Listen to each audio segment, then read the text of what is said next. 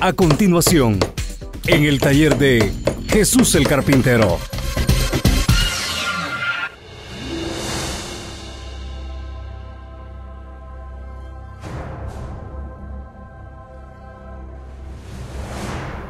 En Mateo capítulo 21 y vamos a leer del versículo 40 hacia el 41 y nos vamos a saltar al versículo 43. Dice así la palabra de Dios. Cuando venga pues el Señor de la viña, ¿qué hará aquellos labradores? Le dijeron, a los malos destruirá sin misericordia y arrendará su viña a otros labradores que le paguen el fruto a su tiempo. Verso 43. Por tanto os digo que el reino de Dios será quitado de vosotros y será dado a gente que produzca los frutos de él. Yo he buscado constantemente llevar a los hermanos, a las hermanas, siempre a una reflexión de lo que realmente es la vida cristiana. Siempre lo he dicho y lo voy a seguir diciendo, que la vida cristiana no es solamente levantar la mano y decir, yo quiero recibir al Señor como mi Señor, como mi Salvador. Yo les he dicho que ser cristiano no es nada más acudir a una iglesia. ¿A cuál iglesia? Pues a cualquier iglesia. Eso no es cristianismo. Ser cristiano no es pertenecer a una organización religiosa como puede ser la iglesia bautista o la iglesia metodista o la iglesia asambleas de Dios o aún nuestra organización, la iglesia del cuerpo de Cristo, para entrar también nosotros. Eso no es cristianismo porque solo pertenecemos a una organización que se ha registrado acá en Sacramento, hablando de acá de Estados Unidos, hablando de California, y es una organización más. Pero yo quisiera invitarles a que descubramos la realidad del cristianismo.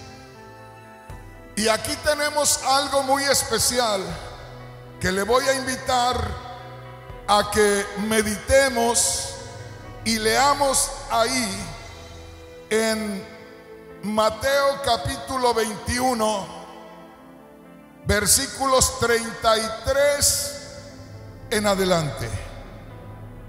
¿Ya lo tenemos? Antes de empezar a leer el versículo 33 de Mateo capítulo 21, ¿en su Biblia hay alguna inscripción en letra negra ahí? Oiga, ¿qué dice ahí? Los labradores malvados.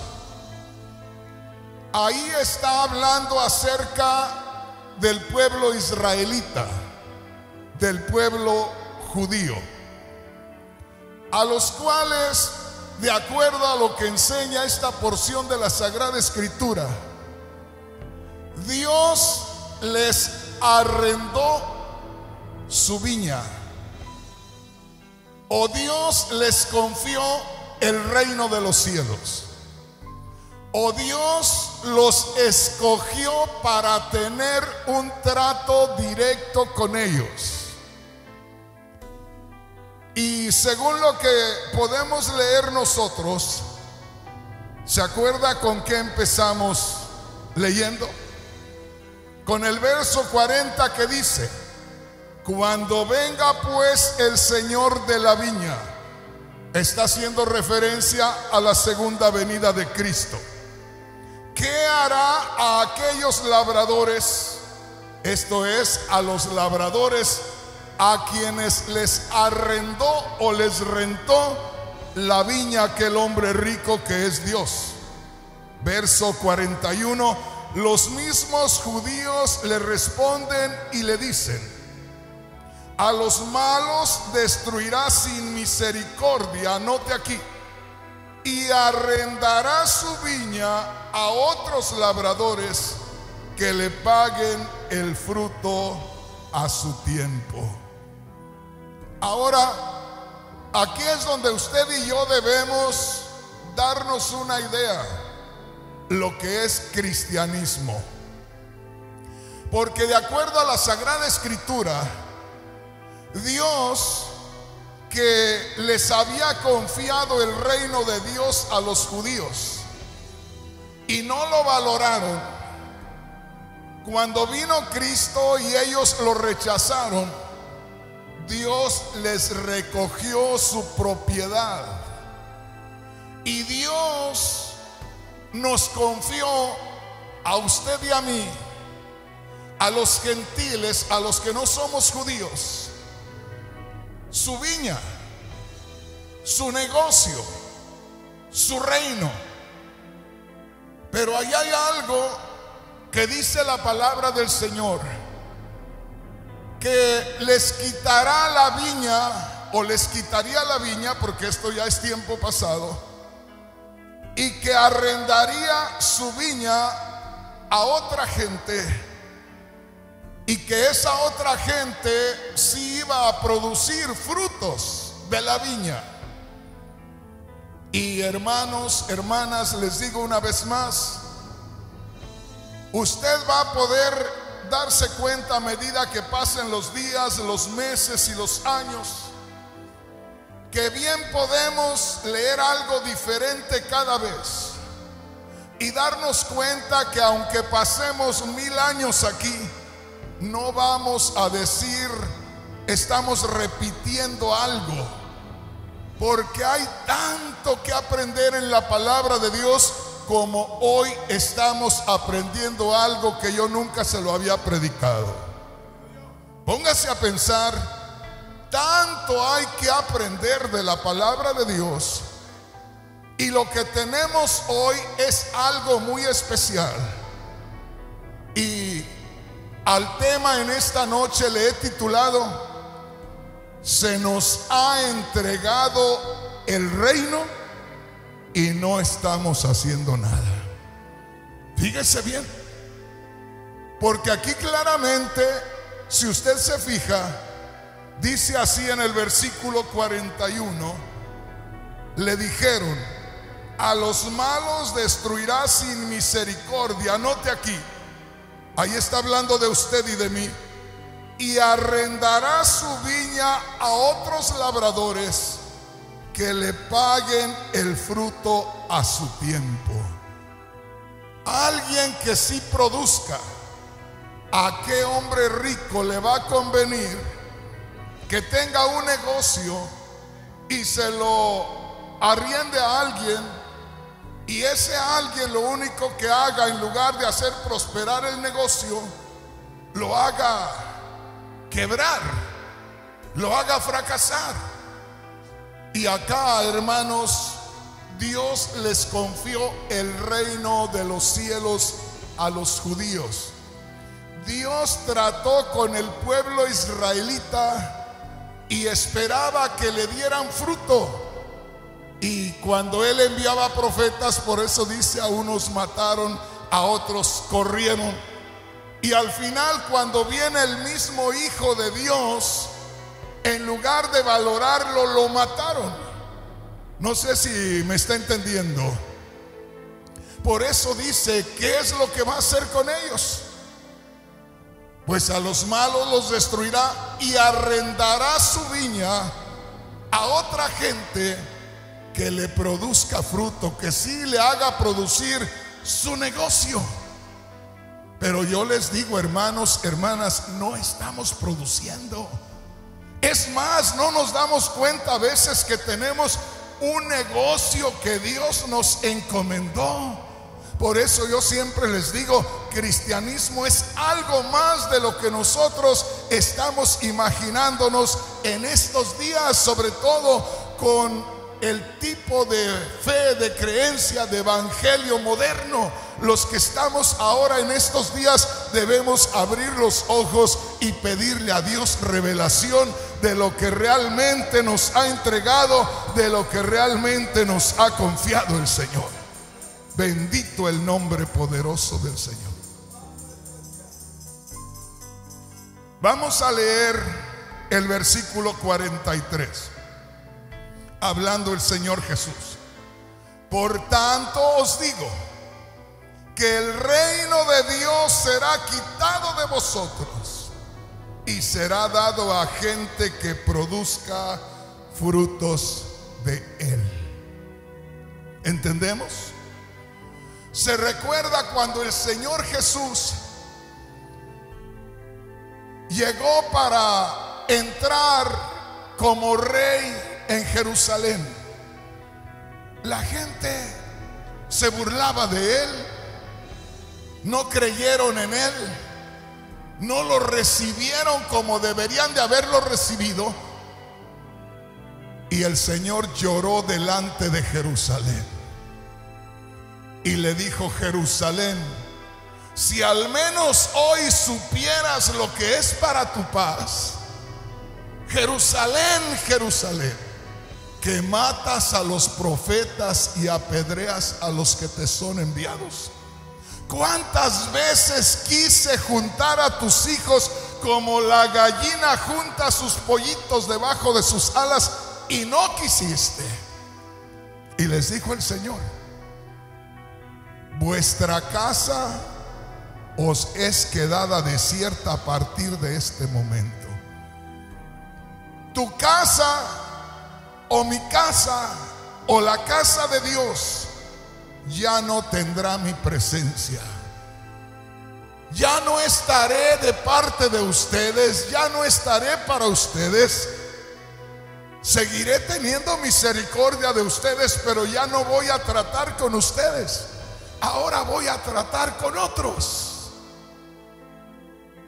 Ahora, nosotros debemos darnos cuenta, en primer lugar, qué es lo que perdieron los judíos. No lo han perdido para siempre, porque aquí es donde muchos que tienen la doctrina del reemplazo, que creen que ya los judíos perdieron su lugar y que nosotros lo ocupamos para siempre. No. Ha habido un endurecimiento temporal en ellos, en su corazón, hasta que entre la plenitud de los gentiles que somos usted y yo. Y luego Dios volverá a tratar con ellos. Pero el asunto no es qué no hizo Dios con ellos o qué va a hacer Dios con ellos. El asunto es qué es lo que Dios está haciendo con nosotros y qué estamos haciendo nosotros del reino de Dios. Eso es lo más importante en estos momentos. A mí no me preocupa tanto ni me interesa tanto qué es lo que no hicieron los judíos con el reino de Dios o qué es lo que Dios no está haciendo con el pueblo judío. A mí me interesa en dónde estoy yo. ¿Cuál es el plan de Dios? ¿Qué es lo que estoy haciendo yo en este día? ¿O de qué estoy participando? ¿O qué es lo que Dios tiene en plan para mí? No sé si me entiende, hermano, hermana. Grábese esto. Le voy a leer ahora sí toda esa porción desde el verso 33. Desde donde dice, los labradores malvados. Y no vayamos a tener algún sentimiento negativo hacia los judíos por identificarlos el Señor como los labradores malvados, sino más bien busquemos ver que nosotros sí seamos los labradores correctos, los labradores que hagamos el trabajo que Dios espera de nosotros. Dice así en el verso 33. oíd otra parábola. Les voy a contar una historia, dice el Señor, a ver si ustedes pueden captar el significado de ella. Hubo un hombre, padre de familia, Dios, el cual plantó una viña. Una viña es un terreno con muchas plantas de uva. La cercó de vallado, cavó en ella un lagar, el lugar donde se pisaban las uvas para que saliera el jugo. Edificó una torre y luego dice, y la arrendó, es decir, preparó la viña, la arregló como debe de ser y la arrendó. La rentó a unos labradores y se fue. Los dejó ahí trabajando su viña, su propiedad, su negocio. Verso 34. Y cuando se acercó el tiempo de los frutos, piensa en eso, hermano, piensa en eso, hermana, que también se acercará el tiempo de los frutos. Y yo creo que estamos a punto de arreglar cuentas con el dueño de la viña. Verso 34, y cuando se acercó el tiempo de los frutos, envió a sus siervos, a los labradores, a los que les arrendó la viña, a los que le rentó su propiedad, para que recibiesen sus frutos. Verso 35. Mira qué recepción les dieron a los empleados del dueño. Mas los labradores tomando a los siervos, a uno golpearon, a otro mataron y a otro apedrearon. Verso 36 envió de nuevo a otros siervos más que los primeros e hicieron con ellos de la misma manera. Verso 37. Finalmente les envió a su Hijo, a Jesús el Cristo, diciendo, tendrán respeto de mi Hijo. Mas los labradores cuando vieron al Hijo dijeron entre sí, este es el heredero venid, matémosle y apoderémonos de su heredad. Y tomándole, le echaron fuera de la viña y le mataron. Al Señor lo mataron fuera de la ciudad. Verso 40. Cuando venga pues el Señor de la viña, ¿qué hará aquellos labradores? Esto es lo que les esperaba a los israelitas a quienes Dios les confió su reino. Le dijeron, a los malos destruirá sin misericordia y arrendará su viña a otros labradores que le paguen el fruto a su tiempo. Ahí me detengo. ¿Sabes dónde estás tú? ¿Sabes dónde estás tú, hermano? ¿Sabes dónde estás tú, hermana? ¿Sé dónde estoy yo? Sí, ahí estoy entre aquellos que nos ha arrendado la viña que les recogió a los judíos. Fíjate bien, pero no es asunto de que nosotros hemos creído en Cristo, estamos en una iglesia simplemente para asistir a la iglesia cuando podamos, cuando querramos a vivir como pensemos, como nosotros sintamos y a terminar como sea. No, hermano, no, hermana. Porque no es cualquier cosa lo que se nos confía. Es el reino de Dios. Es la obra de Dios, es el negocio de Dios. Y por eso nosotros como arrendatarios de la viña, nosotros como aquellos que hemos recibido en arrendamiento la viña, nosotros deberíamos de saber lo que tenemos y producir fruto, producir fruto, dar fruto, porque tarde o temprano se nos va a llamar para hacer cuentas. Vamos a tener que hacer cuentas. El arrendador va a tener que hacer cuentas. El arrendatario va a tener que venir a hacer cuentas. Vamos a tener que dar la cara.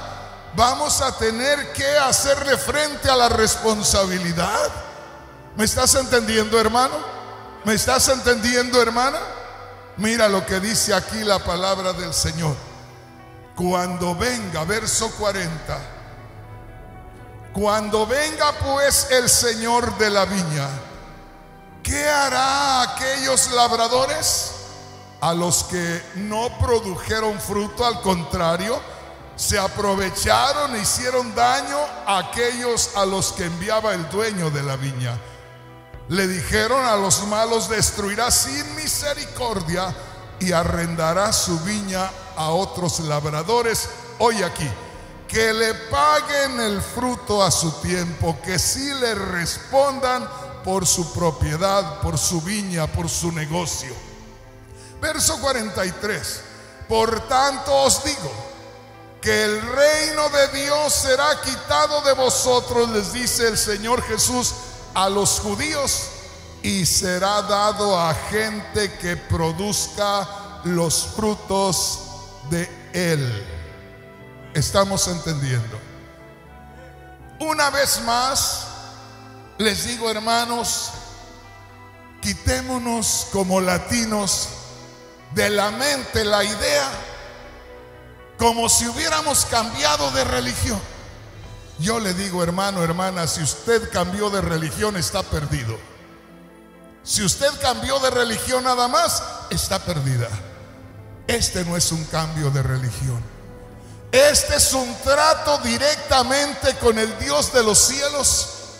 Recibimos la vida eterna. La vida eterna costó otra vida. Costó la vida de Cristo Jesús el único ser perfecto, el único hombre que no había cometido pecado, fue entregado por ti y por mí.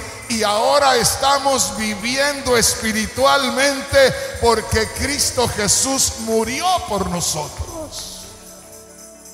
Algo tenemos que hacer. Aquí es donde yo les digo, hermanos,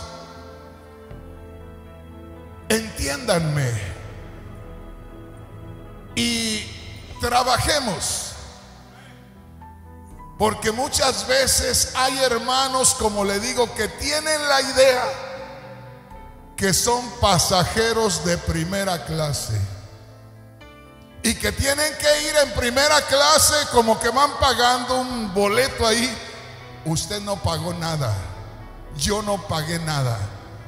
Usted va ahí en ese lugar por pura misericordia de Dios. Yo voy en este lugar por pura misericordia de Dios. Usted no merecía nada, yo no merecía nada. Es por gracia de Dios, es por misericordia de Dios que estamos aquí. Bendito el nombre poderoso del Señor.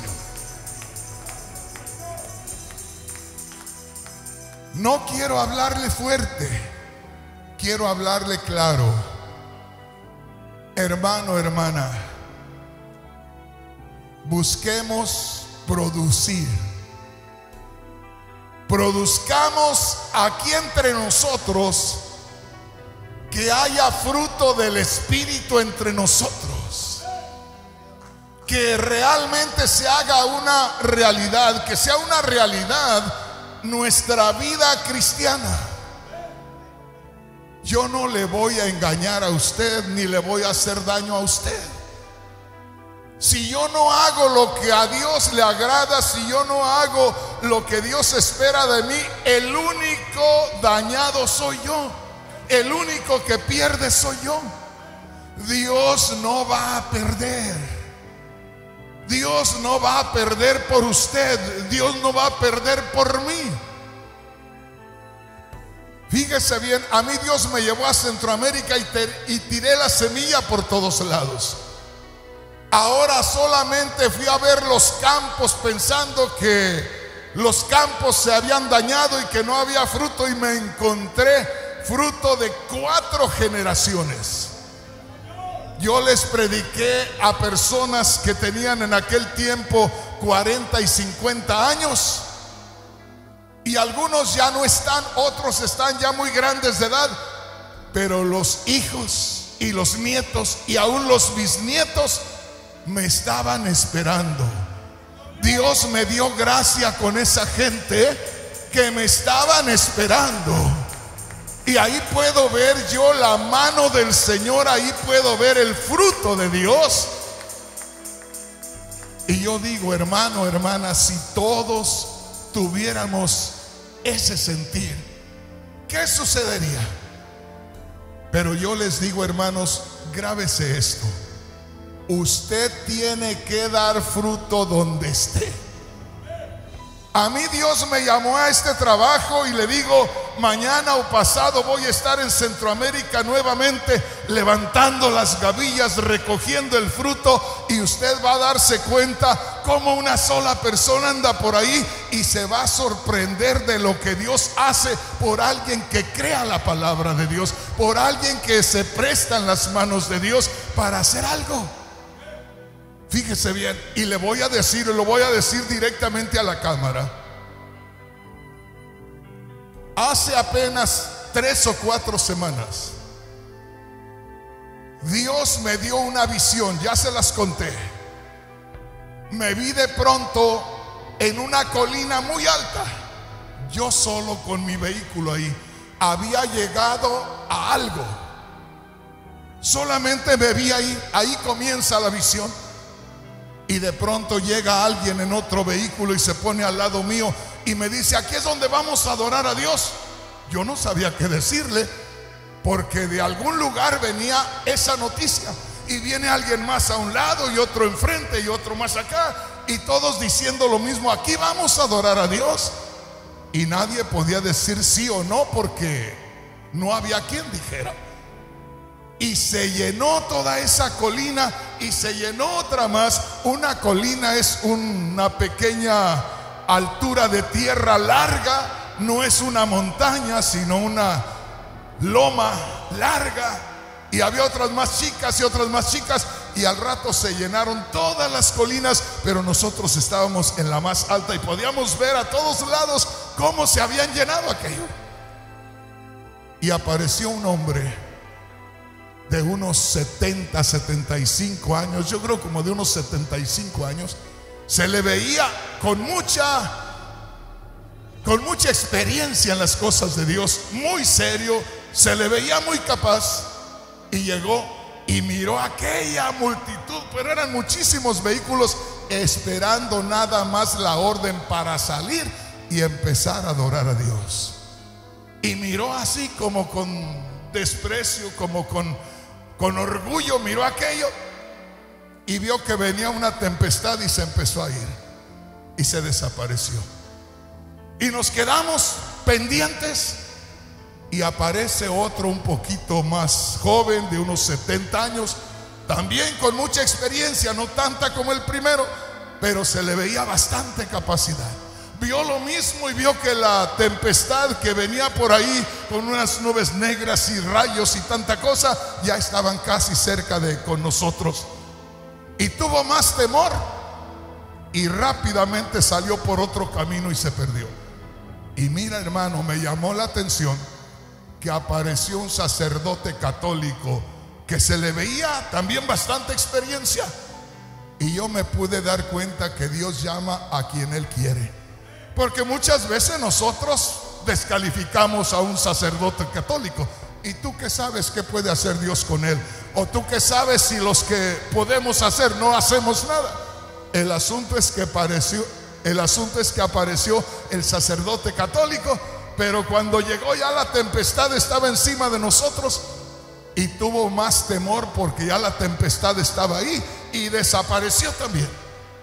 Y en eso me bajo yo del vehículo buscando a ver si venía alguien más, porque ¿qué íbamos a hacer? Y al bajarme, la gente que estaba ahí más cercana empezaron a verme y me llamaron por mi nombre. Y yo dije, ¿y estos cómo saben cómo me llamo? Pero me dijeron, hermano Rodríguez, pues usted, hermano Rodríguez, usted sabe cómo, pues usted, guíenos, usted empiece. Y me llamó la atención, dije, si ya no hay nadie, pues ¿por qué no? Dicen en mi tierra, cuando falta el pan, las semitas son buenas. Cuando falta el pan de buena calidad, lo que se hace de las obras del pan, pues como quieres pan. Y hermanos, volteo yo para donde estaba el vehículo, donde estaba mi familia y una familia extra que traíamos ahí transportándola. Y volteo para decirles que se bajen. Y en eso la tempestad que venía ahí ya los había envuelto y se los estaba llevando la tempestad. Y yo me quedaba delante de aquella gente. Ahí se acabó la visión y de ahí empezó el Señor a moverme a todo esto. Entonces, hermanos, hermanas, grábese esto. Se nos ha confiado el reino a usted y a mí. Se nos ha arrendado la viña. Tenemos que dar fruto. Piensen esto, tenemos que dar fruto. Tenemos al Espíritu Santo en nosotros. Y nosotros debemos permitirle al Espíritu Santo que fructifique a través de nosotros. Si usted está aquí no va a salir como yo a sembrar o a cosechar, usted va a estar aquí. Entonces dé fruto. Fíjese bien lo que le voy a decir. No vaya a estar golpeando a sus hermanos, como dice ahí, envió a unos de sus siervos y los golpearon, los maltrataron, los mataron. Fructifiquemos, no destruyamos la obra de Dios. Tenemos que dar cuenta de nuestra vida particular, de nuestra persona, de nuestros actos. Tenemos que dar cuenta y tenemos que dar cuenta de la obra de Dios. Venga conmigo y veamos qué dice Mateo capítulo 10, versículo 7 en adelante. Oiga esto. Aquí entran ya los nuevos, los que ahora tienen arrendada la viña. Aunque la viña se le, se le arrienda a la iglesia, la iglesia en su mayoría somos gentiles, pero la iglesia tiene el fundamento hebreo, el fundamento israelita. Porque dice la Biblia por allá en Efesios 2:20, ustedes son edificados sobre los apóstoles y los profetas, teniendo a Cristo Jesús como la piedra angular. Todo nuestro fundamento, nuestra base es israelita. Son judíos. El Señor Jesús en cuanto a la carne, judío. Los profetas judíos. Los apóstoles judíos. Y de ahí para acá, puros gentiles hasta este momento. Mire lo que dice ahí. Mateo capítulo 10, versículo 7. El Señor ahora guiando a los que tenemos la viña arrendada. Dice el Señor, yendo o vayan y prediquen diciendo, oiga esto, el reino de los cielos se ha acercado. Piensen esto. Vayan y díganle a la gente, el reino de los cielos se ha acercado. Esa es nuestra tarea, esa es nuestra misión. Esa es la forma de hacer crecer el reino. Esto es para todos. No es solamente de una persona. Es la expansión del reino. El reino tiene que crecer. Y usted y yo estamos acá como los labradores responsables.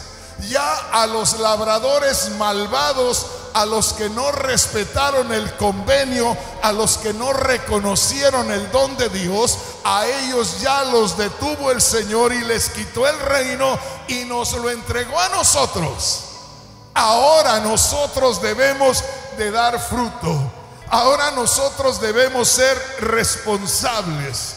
Y mire aquí, usted mira a los apóstoles que son enviados por el Señor y les dice en el verso 7, Mateo capítulo 10, versículo 7, yendo o vayan y predican diciendo, el reino de los cielos se ha acercado. Oiga, el reino de los cielos se ha acercado. Luego dice algo más ahí. Dice, limpien o más bien sanen enfermos, limpien leprosos, resuciten los muertos, echen fuera los demonios. De gracia recibieron, den de gracia. Lo que han recibido gratis, denlo gratis. Vayan y díganle a la gente, el reino de los cielos se ha acercado. Ensanchen el reino de los cielos. ¿Sí me está entendiendo? Grábate esto en lo que acabamos de leer.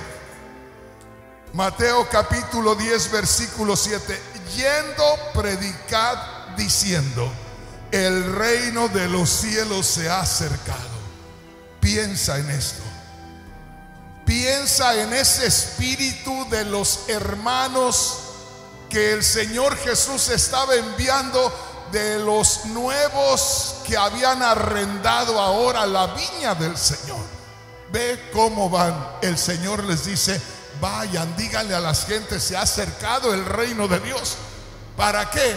Para que haya uno más que entre al reino de Dios, para que el reino de Dios se vaya expandiendo. No sé si me explico. No sé si me explico. No es asunto nada más de decir, yo me voy a congregar en esta iglesia Tú tienes una responsabilidad. A ti se te ha confiado la viña. Te la arrendaron a ti. Y el Señor que esperaba que Israel diera fruto, está esperando que nosotros demos fruto. Fíjate bien, está esperando que nosotros demos fruto. Yo no sé si te has dado cuenta a donde quiera que tú vayas a un negocio, te atienden de maravilla. Porque así les ponen las condiciones a las personas que van a trabajar ahí. Ahí le dicen, mire, aquí el cliente es primero. Y usted tiene que recibirlos con una sonrisa. Usted tiene que ser amable. Y si usted no llena esas condiciones, no le dan el trabajo o en el primer día le dan su pago y lo corren. Y uno sabe y uno trabaja así. En el reino de Dios, nosotros debemos buscar la manera que cada quien esté feliz, que cada quien se goce, que cada quien se sacie, que cada quien salga de este lugar bendecido. Ahora piensen esto. ¿No le parece que nosotros muchas veces llegamos a la iglesia, llegamos al negocio y como que nos vamos a satisfacer nosotros? Como que no estamos haciendo un trabajo para Dios. Como que Dios tiene que hacer algo por nosotros y los demás también. No, hermano, perdóneme, no es así. Usted tiene un trabajo que hacer o de lo contrario, usted va a ser desechado, usted va a ser desechada, yo voy a ser desechado. Si yo no hago lo que Dios quiere, déjeme decirle, va a haber por ahí un drogadicto tirado ya por 20 años. A Dios no le... Dios no tiene problema, Dios no tiene problema en levantar a ese drogadicto que ha estado tirado ahí por 20 años y ponerlo a hacer el trabajo que hace Rafael Rodríguez. En otras palabras, la viña tiene que dar fruto, Dios tiene que recoger el fruto, el reino de los cielos se tiene que extender, se tiene que expander, Dios tiene que levantar cosecha. Así esté usted o no esté, así esté yo o no esté, usted no es indispensable, yo no soy indispensable, nosotros somos bienaventurados en formar parte del reino de los cielos. El Señor le llamó a usted y dejó de llamar a miles y a millones, pero le llamó a usted. El Señor me, el Señor me llamó a mí y dejó de llamar a millones en ese día esto, hermanos, no es por méritos. Dios nos llamó, Dios nos escogió. Aquí estamos, debemos saber que estamos haciendo algo tenemos que hacer. La gente que no conoce a Dios tiene en su mente, ¿qué es lo que voy a hacer en este día? ¿Cuál va a ser la obra del día? ¿Qué obra buena voy a hacer en este día? Algo bueno tengo que hacer en este día. Eso piensa la gente que no conoce a Dios. Y nosotros conocemos a Dios, nosotros tenemos el Espíritu Santo. ¿Qué podemos hacer? Vamos a comenzar aquí donde es más fácil, aquí entre los hermanos. Porque muchas veces no nos miramos con esa bendición muchas veces como que nos miramos y nos da lo mismo. ¿Quién es este? Pues quien sea. No, hermano. No. Es alguien especial. Pero es guatemalteco. Pero el Señor lo llamó. Y a ti, mexicanito, ¿qué te importa? Pero este es cubano. ¿Y a ti qué te importa? El Señor lo llamó. Por eso dice el Señor, no juzgues a otros no juzgues al criado ajeno, dice el Señor. ¿Por qué juzgas al criado ajeno? Dice el Señor, no juzgues a mis sirvientes. ¿Quién eres tú para juzgar a mis sirvientes? Si yo lo levanto, lo dejo caer, soy yo. ¿Y a ti qué te importa? Dice Dios. No sé si me explico. Así dice la palabra de Dios. Acá usted y yo debemos servir a los hermanos y a las hermanas con una sonrisa. ¿Cómo está, hermano? Dios le bendiga. Gloria a Dios. Que no me habla, pues que no te hable. Que no me responde, que no te responda. Es su asunto. Tú tienes que dar cuentas. Tú vas a tener que dar cuentas del arrendamiento que el Señor te ha confiado, te ha confiado su viña, es su obra. No sé si me explico. ¿A poco ya me perdí? Hermano, hermana, este es el reino de Dios. Esto tiene que verse más bonito. Pero le digo, como que nos acostumbramos a cumplir con algo. Que pudiéramos empezar a hacer las cosas como debemos hacerlas. No es que yo me llevo con ciertas personas. ¿Y por qué con las otras no? ¿Por qué no? Este no es un lugar donde se nos permita a cada quien tener nuestro club, nuestro grupo, no Señor. Como le digo, de pura misericordia nos llamó el Señor. Y déjeme decirle de parte de Dios, hay muchos que fueron buenos cristianos y que de pronto se descuidaron y ya no están en el camino de Dios. Así lo hizo el Señor como cuando se para una mosca de esas moscas medias atarantadas. ¿No las has visto? Hay unas moscas muy ágiles, hay unas medias atarantadas y se ponen cerca de ti y les das así con la uña, mira así. Y así nos va a hacer el Señor si nosotros no estamos haciendo lo que agrada a Dios. Y nos vamos a salir por cualquier cosa. Porque alguien no me habló, porque el pastor no me visitó y nos vamos a salir por cualquier cosa. ¿Y tú crees que Dios va a correr por ti? No va a correr por ti. Simplemente no te importó la obra de Dios. Te llamó el Señor, no lo valoraste. El Señor te dio un lugar especial, no solamente en la iglesia, en su reino, porque el día que creímos en Cristo, ese día se inscribió nuestro nombre en el libro de la vida. Somos importantes de parte de Dios. ¿Me entiendes, hermano? Tenemos que hacer algo que de aquí en adelante antes de irte, vayas a cada hermano, a cada hermana. Dios le bendiga, hermano. Dios le bendiga, hermano. Qué bueno que vino. Nos gozamos. Porque eso no se ve. Eso no se ve. Cada quien viene por lo suyo y se va. No somos individuales. Es decir, no podemos estar separados. Somos ramitas del mismo árbol. No sé si me explico. Recibimos la savia del mismo árbol. Dice la Biblia, somos bautizados por un solo espíritu en un mismo cuerpo. El espíritu nos unió al cuerpo de Cristo. No podemos nosotros hacer nada por nuestra cuenta porque estorbamos la obra del Señor.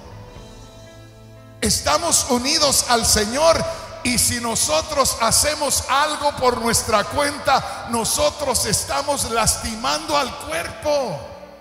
Un día de estos le voy a platicar, ahí dice la palabra del Señor. Hay de aquel que destruye el templo. Se está destruyendo a sí mismo, se está echando fuera el mismo. ¿Me explico, hermanos? ¿Por qué le estoy diciendo esto? Porque le digo, hermanos, estamos ya corriendo la última milla. Si no nos consagramos en este momento, muchos no van a llegar. Y le digo, hermano, cada quien tiene que hacer algo. Cada quien tiene que buscar que el Espíritu Santo se mueva a través de él. Cada quien tiene que buscar que el Cristo glorificado que mora en usted, que mora en mí, sea el que haga algo a través de nosotros. Mire lo que le voy a leer aquí. Venga conmigo. Vamos a Juan, al capítulo 4. Gloria a Dios. Y vamos a leer del verso 27 en adelante. Gloria a Dios. Juan capítulo 4 versículos 27 en adelante. ¿Ya lo tenemos? Ahí se está refiriendo a aquella ocasión cuando los discípulos y el Señor venían de trabajar, de predicar, de llevar la palabra y venían con hambre, venían cansados. Y los discípulos vieron que el Señor se sentó junto al pozo de Jacob y los discípulos dijeron, bueno, el Señor viene cansado, vamos a dejarlo que descanse, vamos nosotros a traer comida a la primera aldea que encontramos. Y se fueron los discípulos a comprar alimentos y por allá se tardaron. Pero apenas se perdieron de vista los discípulos y ya el Señor estaba hablando con la mujer samaritana. Y ya se estaba ganando aquella alma el Señor. Y cuando vienen los discípulos, solo vieron que aquella mujer dejó su cántaro y corrió. Y ellos llegaron y dijeron, pues de qué hablaba el Señor con aquella mujer, qué traía el Señor con aquella mujer, por qué estaba hablando con aquella mujer. Y además es samaritana, no debería estar hablando con ella. Y llegaron y le dijeron, Señor, aquí tienes tu comida. Te trajimos comida. Y el Señor dijo, yo ya comí, yo me siento bien, no necesito comida. Señor, pero seguramente no has comido. Y dijo el Señor, yo tengo una comida que ustedes no conocen. Y ellos dijeron, ¿a poco esa mujer le trajo de comer? Y él dijo, mi comida es hacer la voluntad de mi Padre que está en los cielos. Eso me satisface a mí y eso le satisface a Dios. Mi comida es hacer la voluntad de mi Padre que está en los cielos.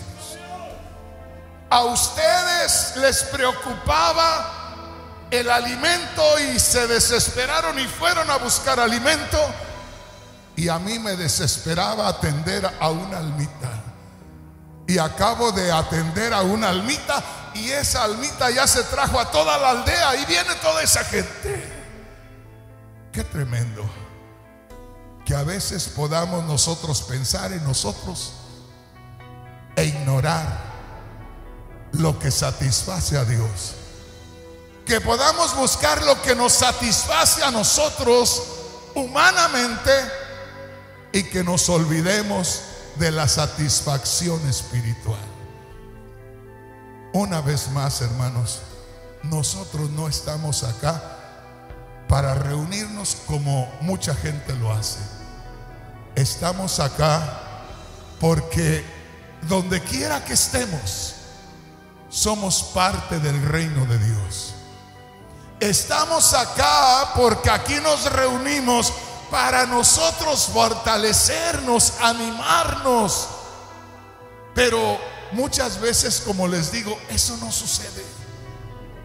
Entre nosotros mismos, le aseguro que entre los que estamos aquí, pueden venir hermanos o hermanitas con un problema moral o espiritual o físico.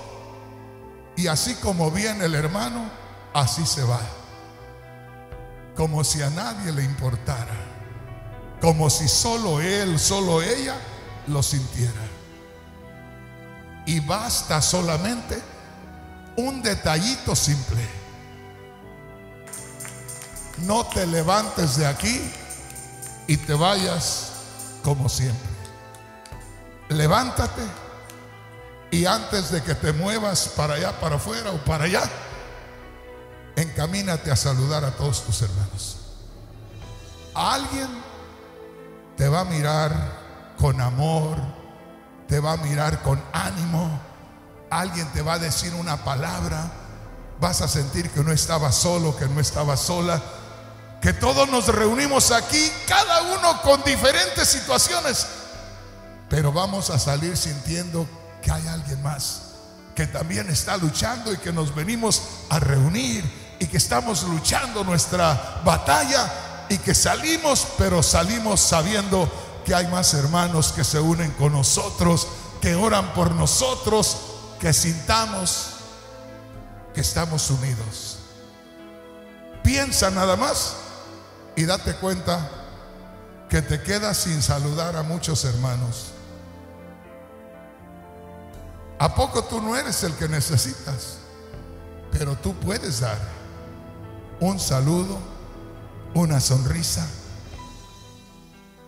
que sepamos hasta que somos del mismo grupo, porque de pronto no sabemos si es visita y son hermanos ya de aquí de la congregación. Cambiemos las cosas, hermanos. Dejemos la rutina y comencemos a vivir una experiencia cada día. Póngase de pie y vamos a hablar con Dios.